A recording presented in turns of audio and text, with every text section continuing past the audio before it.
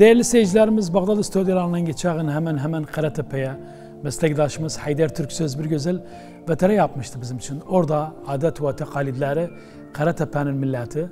Bakalım ne olup ne olacağı da onu da beraber izleyelim. Ramazan ayının gelenekleri azalıyor. Eskiden bir sürü gelenekler Ramazan ayında düzenleniyordu. Ama şu an ise tükeniyor.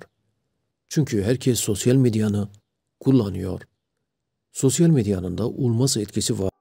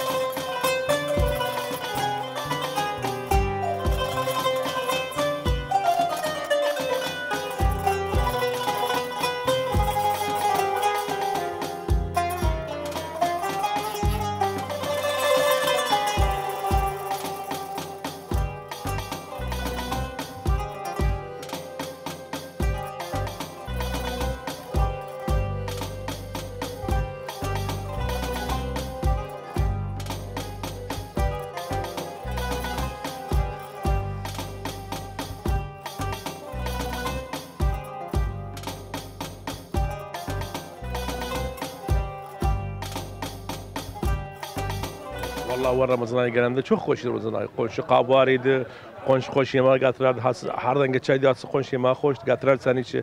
Sen konşu çaparardı. Bütün Ramazan ayı hoşuydu o, çok hoşuydu. Şimdi fark eder keş konşu ayrı şekil olabilir bu aleminde. Sebep her şey için sebebi çoktu vallahi indi yani ayrı şekil bu muallem mobiletten şeyden ayrı şekil bu aleminde. Avval kitap kalmayıp henniyet. Avval henniyet çok vardı bu alem arasında. Konşunun bir ölçü ölseydi daha 40 gün televizyon açılmazdı. Avval fark ederdi, çok fark ederdi avval. Şimdi kalmadı o tevasıl içtimai alemin çok şey etti.